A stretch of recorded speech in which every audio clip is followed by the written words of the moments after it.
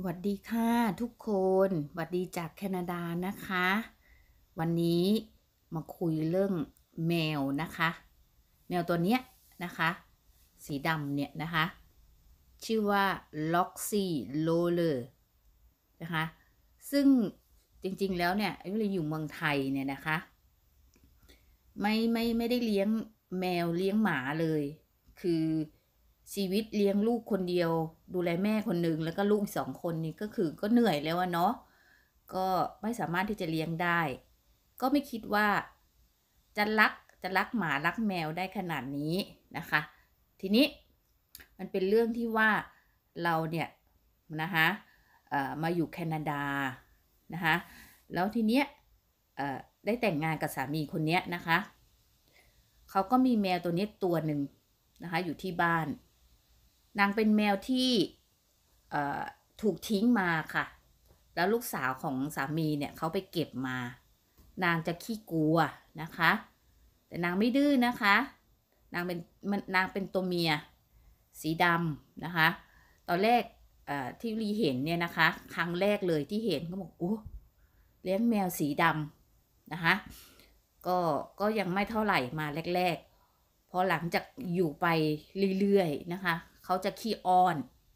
เขาจะขี้อ้อนเขาจะไม่ดื้อเขาจะไม่ขวนเขาก็จะไม่ไม่ไม่กัดคือไม่ดื้อออกไปข้างนอกก็อยู่หน้าบ้านก็ออกได้ไม่นาน แต่ถ้าอยู่ออกไปหลังบ้านเนี่ยนะคะเขาจะเขาจะเล่นเขาจะอยู่ได้นาน เราก็ต้องนั่งเฝ้าเขานะคะไม่งั้นก็จะไปที่อื่นนะคะเนี่ยนางจะชอบผ้าห่มมาก คือเวลานั่งดูทีวีเนี่ย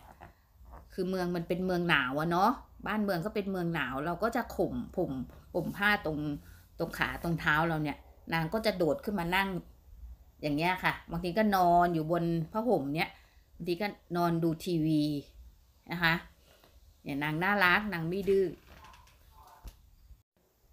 บางครั้งนางก็จะนั่งดูทีวีด้วยนะคะ เนี่ยน่ารักไม่ดื้ออยู่ไปอยู่ไปเลย เลยรักนาง ยิ่งลูกสาวตอนที่อยู่เมืองไทยยังไม่มาแคนาดา ถ่ายรูปให้เขาดู ส่งไปบางครั้งก็วิดีโอมั่งรูปมั่งให้เขาดู นางก็คืออยู่เมืองไทยอะเด็กอะเนาะก็อยากเลี้ยงสัตว์เลี้ยงอยากเลี้ยงหมาเลี้ยงแมวอยู่แล้ว พอพอลูกสาวมาแคนาดา ยิ่งรักใหญ่เลย เพราะว่านางจะไปอ้อนเขา แล้วก็อุ้มกันทุกเช้าอยู่ด้วยกันทุกเช้าจะเข้าห้องอะไรอย่างเงี้ยนะคะ อย่างตอนเช้าเงี้ยตื่นมานางก็จะเดินแบบเนี้ยเดินตามเรา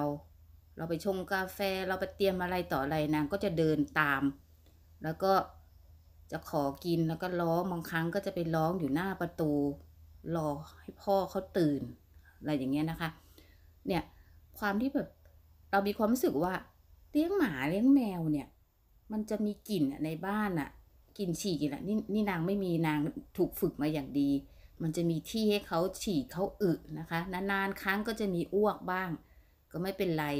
แต่นางก็ไปอ้วกใส่พรมใส่อะไรเงี้ย นางน่ารักนางไม่ดื้อนางเป็นแมวที่ถูกทิ้งมา สามีลูกสาวเก็บมา ถามว่าอายุเท่าไหร่สิบสี่ปี นางเป็น นางเป็นแมวแก่แล้วนะคะ ทุกคน แต่นางน่ารัก นางไม่ดื้อ ดูสิ ตามแล้วก็นอนอะ